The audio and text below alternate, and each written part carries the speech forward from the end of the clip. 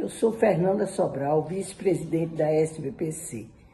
Eu gostaria de informar que a SBPC, Sociedade Brasileira para o Progresso da Ciência, fará no mês de julho desse ano 2023 75 anos de vida. Eu diria de vida, de luta pela educação, pela ciência, tecnologia e inclusão social.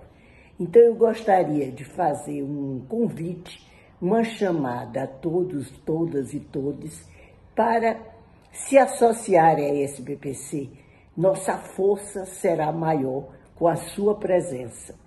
É, precisamos cada vez mais construir um Brasil melhor, um Brasil justamente com ciência, tecnologia, educação e com menos desigualdades sociais. Você pode colaborar. Temos é, várias publicações que justamente informam sobre as questões científicas e culturais. Essa é outra questão importante e, sobretudo, a sua adesão aumenta a nossa força. Obrigada.